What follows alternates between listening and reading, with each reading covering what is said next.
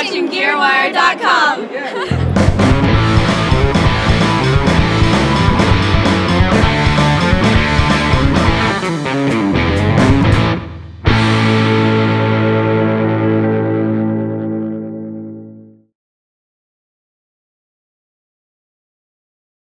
Hi, I'm Rob Garofalo. We're here in Austin, Texas at the Summer NAMM Show 2006, and we're showing the Hartke KM200. This is a 15-inch, 200-watt keyboard monitor, and it features a Hartke original aluminum cone. Now, bass players found out about the aluminum cone on their own with the Hartke Kickback.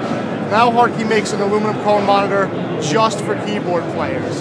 Uh, basically, the aluminum cone gives a punch, a clarity, and a brightness to the keyboard that you cannot find in any traditional cone uh, driver, and that's why we use aluminum in all of our keyboard monitors.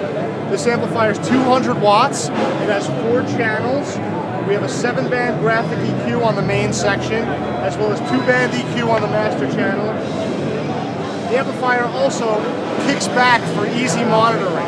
You can see on the top panel, we have XLR balanced out, as well as stereo unbalanced outputs for any live sound application. The amplifier sells for $549, it's 200 watts, and plays through a 15-inch aluminum cone driver. Let's listen to how it sounds.